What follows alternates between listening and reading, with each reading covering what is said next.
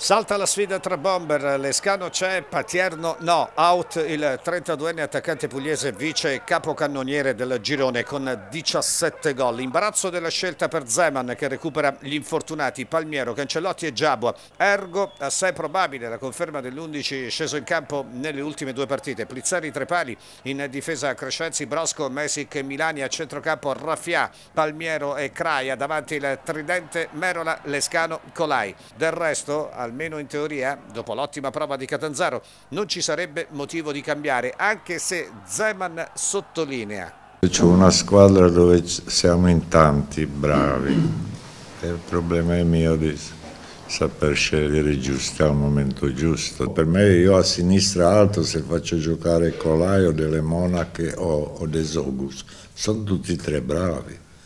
Poi il discorso è se riescono a esprimersi tutti uguali o, o al meglio.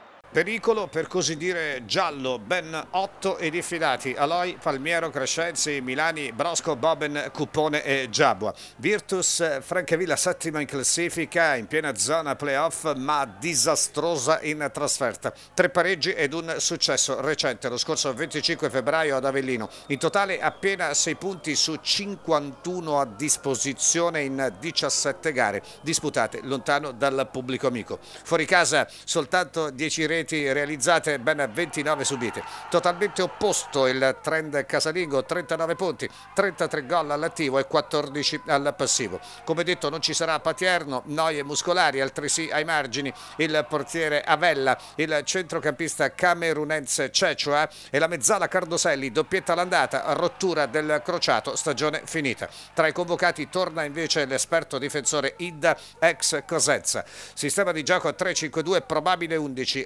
Romagnoli tre pali, in difesa Solcia, Minelli, ex Primavera Delfino e Capitan Caporale. Sulle fasce Pierno e l'ex De Marino. A centrocampo Risolo, vertice basso, Macca e Di Marco interni. Attacco per scelta senza prima punta di ruolo. Giocheranno infatti Murilo e Maiorino, a lungo trattato quest'ultimo la scorsa estate, proprio dal Pescara. Se così fosse, solo panchina per l'ex Andrea Cisco.